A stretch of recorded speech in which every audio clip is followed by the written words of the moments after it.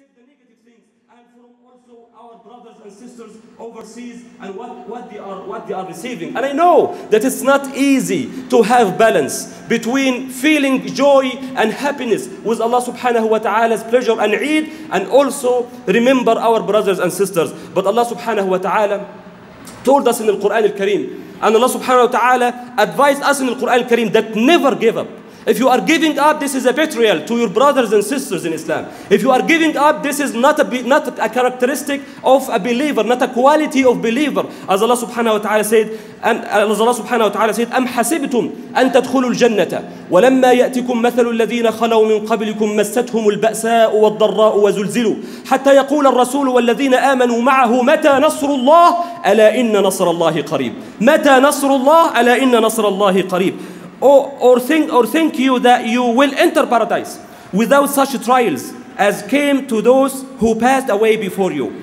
They were affected with, with severe poverty and tests from Allah subhanahu wa ta'ala to the point that the messenger and the believers with him will wonder when will be the, the victory of Allah subhanahu wa ta'ala. Indeed, certainly the help of Allah subhanahu wa ta'ala is near. My dear respected brothers and sisters in Islam, today is the day of having fun, halal fun. So having halal fun with our families, with our children, please just spoil your children in this day. If you're gonna do something nice to them, this is the time. I know that many of our children are already spoiled, but just do it here. Do it today in this in this Eid, mashallah. Give them money. You make them happy. Tell them, tell them that this is the unique festival of Muslims. Make them to church Islam and, and, and childhood. Make the memories of being Muslim. Make, make them feeling happy and proud of being Muslims living here in this country. Please do that today. And there is a special, special thanks and a special dua for our dear sisters. Wallahi, yani, they did great job, mashallah, cooking food for us, taking care of our children, doing great in their, in their houses while they're fasting. And then come after breaking the fast to pray Taraweeh with us every night. Every night. Who stays till the end. The majority of them are sisters, mashallah. Majority of the people that they stay till the end to just attend the dua, to ask Allah subhanahu wa ta'ala with all of the busy schedule that they have in the daytime are our sisters. May Allah subhanahu wa ta'ala accept from you. May Allah subhanahu wa ta'ala bless you. May Allah subhanahu wa ta'ala give you the happiness in this life and in the hereafter. My respected brothers and sisters in Islam, Islam has fun.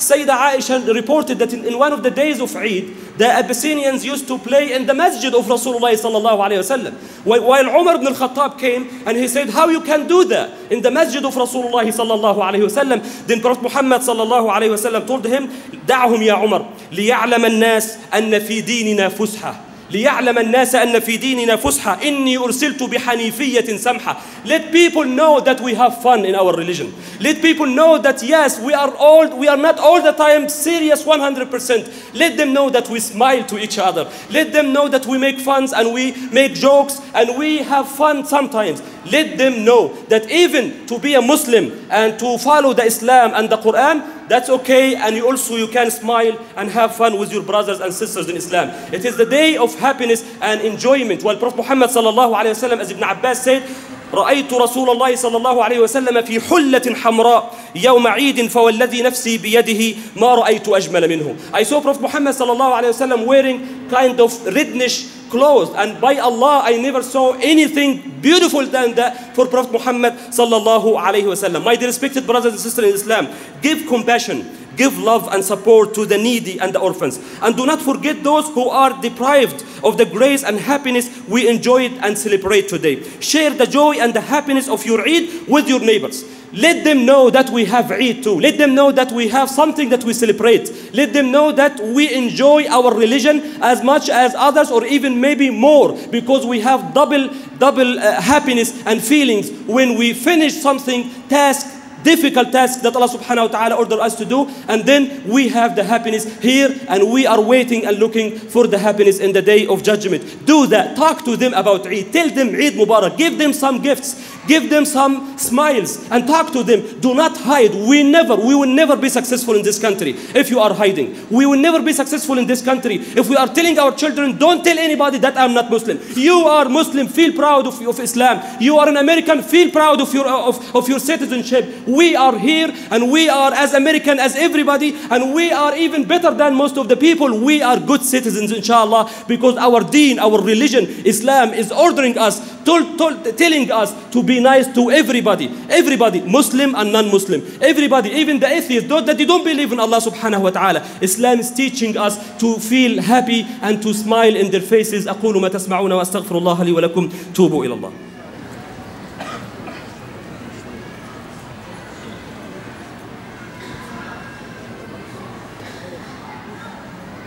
الحمد لله رب العالمين والصلاة والسلام على سيد النبيين وخاتم المرسلين ورحمة الله العالمين سيدنا محمد وعلى آله وصحبه أجمعين الله أكبر الله أكبر الله أكبر الله أكبر الله أكبر الله أكبر الله أكبر الله أكبر My dear respected brothers and sisters in Islam, we are in a very important and sensitive time in the history of the Ummah. And while we are having the Alhamdulillah Rabbil Alameen, Allah subhanahu wa ta'ala has blessed us with this beautiful place.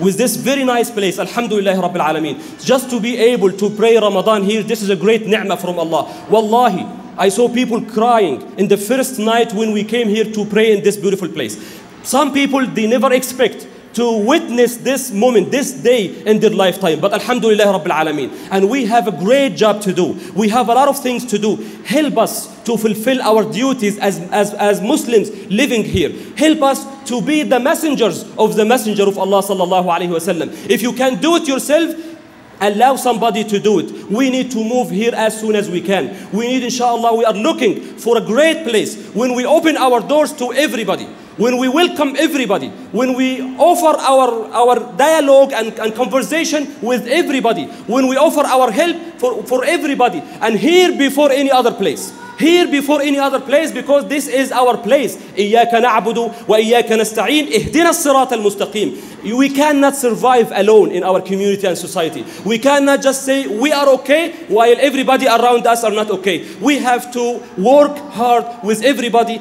to take the rights my dear respected brothers and sisters in Islam and I know that we cannot we cannot forget our brothers and sisters over there we cannot. It will never be Eid if we just do our enjoyment and, and happiness here and enjoy with our families without remembering them. Why? Because this is our duties. This is our duties as Muslims to remember them and to be with them. And I'm imagining one of the girls that she lost her mom and, and father while she's facing and receiving the crescent, the hilal of the, of the Eid, the moon of the Eid, while she is just trying to talk to everybody, trying to talk to the moon that why you are coming now and with what happiness exactly you are coming with while we are facing all of these crazy things around us. While the masjid, the beautiful masjid and haram and city, the most peaceful place in the world, just some people claiming that they are Muslims and they are following the messenger of Allah, trying to kill people that they are fasting and making i'tikaf in the masjid of Rasulullah sallallahu alayhi wasallam. So she, she's trying to explain explain herself. And she's trying to do that. And I just summarize what she said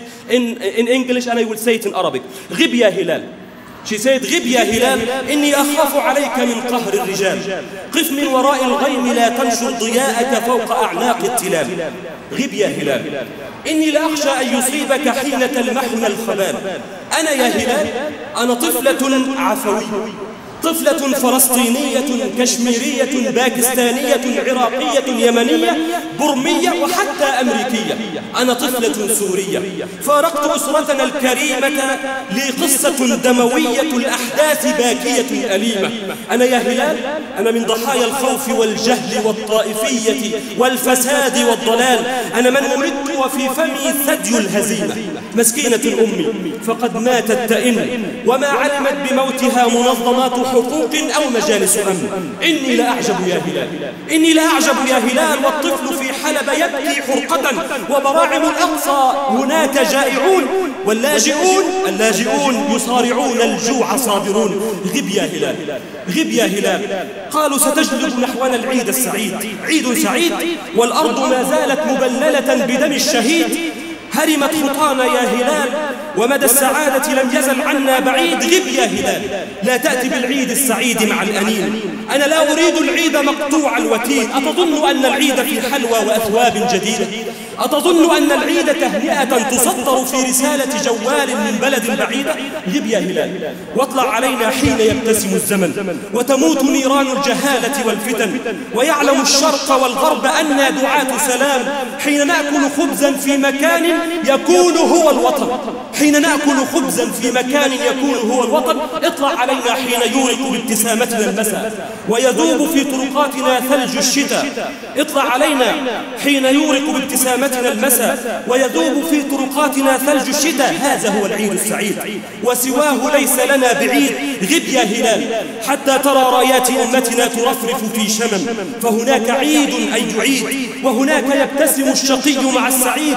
اطلع علينا بالشذا بالعز بالنصر المبين اطلع علينا بالتئام الشمل بين المسلمين. اطلع علينا بالشذا بالعز بالنصر بالفتح المبين. اطلع علينا بالتئام الشمل بين المسلمين. اللهم آمين. اللهم إنا نسألك في هذا المكان الطاهر. وفي ذلك اليوم المبارك أن تباركنا يا ربنا. اللهم احفظنا في أوطاننا. اللهم بارك في هذا المجتمع يا رب العالمين. اللهم احفظنا من بين أيدينا ومن خلفنا وعن أيماننا وعن شمائلنا يا كريم. اللهم كن معنا حيث كنا يا أرحم الراحمين. اللهم تقبل منا رمضان. اللهم تقبل منا الصلاة والصيام والقيام. اللهم تقبل منا الزكاة والنفقات يا رب العالمين. اللهم أعط كل من أنفق في بناء هذا المكان أجرا عظيما. اللهم اخلف له في أهله وماله وأولاده يا رب العالمين. اللهم باعد بيننا وبين الجهلاء في الدنيا والآخرة. اللهم إنا نعوذ بك من الجهل والسفه يا رب العالمين. ربنا لا تؤاخذنا إن نسينا أو أخطأنا ربنا ولا تحمل علينا إصرا كما حملته على الذين من قبلنا. ربنا ولا تحملنا ما لا طاقة لنا به. واعف عنا واغفر لنا وارحمنا أنت مولانا فانصرنا على القوم الكافرين. اللهم عجل لنا بأعيادنا الحقيقية. اللهم عجل لنا بفتح بيت المقدس وتحريره من أيدي الغاصبين. اللهم صلاة آمنة مطمئنة في يوم عيد في المسجد الأقصى يا رب العالمين. اللهم صلاة آمنة مطمئنة يا رب العالمين في المسجد الأموي قريبا عاجلا غير آجل يا كريم. اللهم وفي مسجد خالد يا رب العالمين. اللهم وفي مساجد حلب ودرعا ودير الزور وجميع بلاد الشام يا رب العالمين. اللهم صلاة آمنة في رحاب الشام. اللهم صلاة آمنة في رحاب اليمن. اللهم صلاة آمنة في رحاب ليبيا ومصر. اللهم صلاة آمنة في العراق وأفغانستان. اللهم صلاة آمنة في كشمير وبرما اللهم صلاة آمنة في وسط إفريقيا. اللهم أنعم بالسلامة والهدى والنصر على جميع المسلمين. اللهم احفظ شباب المسلمين هنا في بلادنا. اللهم كن معهم حيث كانوا يا رب العالمين. أحيهم على الإيمان وأمتهم على الإيمان. وابعثهم يوم تبعث عبادك على الإيمان. اللهم واجعل هذا المكان منارة خير وعز ونصر ودعوة حق للإسلام والمسلمين. اللهم لا تغلقه أبدا حتى ترث الأرض ومن عليها يا رب العالمين. اللهم هيئ له من يقوم عليه. اللهم وهيئ له من ينصره. اللهم وهيئ له من يتبع فيك سنة حبيبك يا رب العالمين. اللهم ربنا أدخلنا الجنة جميعا يا أرحم الراحمين. ربنا لا تخرجنا من هذا المكان إلا وقد غفرت لنا أجمعين. اللهم إنا نطمع في غفرانك وعفوك يا أكرم الأكرمين. اللهم فاغفر لنا أجمعين. وهب المسيئين منا بالمصلحين. اللهم لا تردنا إلى بيوتنا إلا وقد قلت قوموا مغفورا لكم. إنك أنت أرحم الراحمين. عباد الله حفظكم الله هداكم الله أسعدكم الله أنعم عليكم الله نصركم الله والسلام عليكم ورحمة الله.